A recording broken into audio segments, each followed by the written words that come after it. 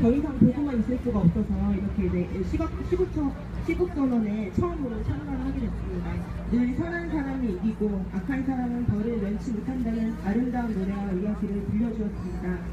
자신의 권세와 돈, 힘을 믿고 타인을 겁박하거나 유형, 무형의 폭력을 행사하는 것은 나쁜 일이라 가르쳐 왔습니다.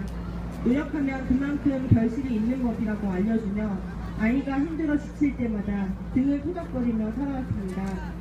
그런 어머니의 가르침대로 우리 아이들은 또래 친구들과 놀다가도 반칙은 옳지 않은 일이라 여기며 자, 잘하고 있습니다.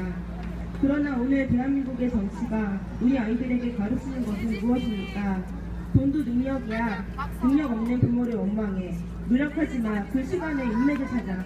우리 엄마들은 후대들이 돈보다 사람이 대접하는 세상의 주인으로 살기를 바랍니다. 거짓을 이기는 진실의 힘을 아이들에게 가르치고 싶습니다. 민주주의 수호의 촛불을 밝히겠습니다. 그리고 앞으로도 우리 사회의 퇴보를 막기 위해 어머니로서의 역할과 책임을 다할 것입니다. 박근혜가 범인이다! 박근혜는!